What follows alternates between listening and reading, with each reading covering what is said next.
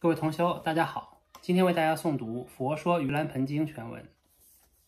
闻如是：一时，佛在舍卫国祇树给孤独园，大目犍连始得六通，欲度父母，报如补之恩。既以道眼观视世间，见其亡母生恶鬼中，不见饮食，皮骨连立。目连悲哀，即以钵盛饭，往想其母。母得钵饭。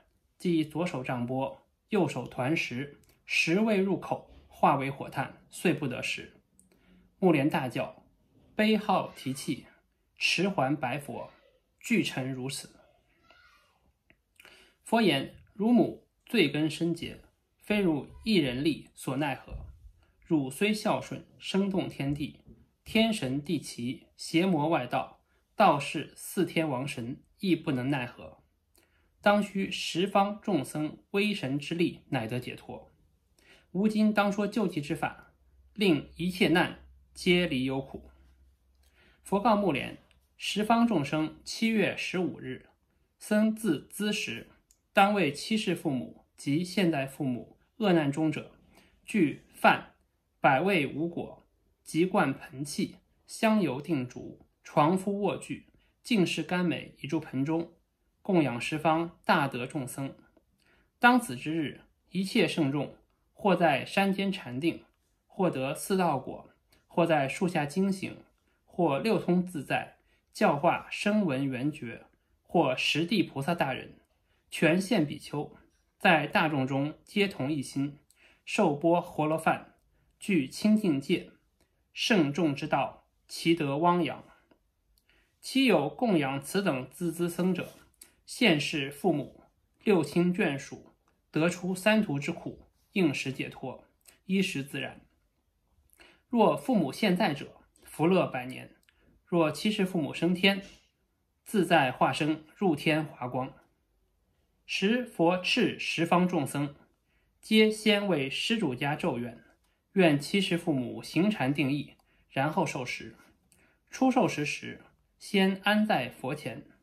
塔寺中佛前，众僧咒愿敬，便自受食。时目连比丘及大菩萨众皆大欢喜。目连悲啼泣声，释然出灭。时目连母基于是日，得脱一劫恶鬼之苦。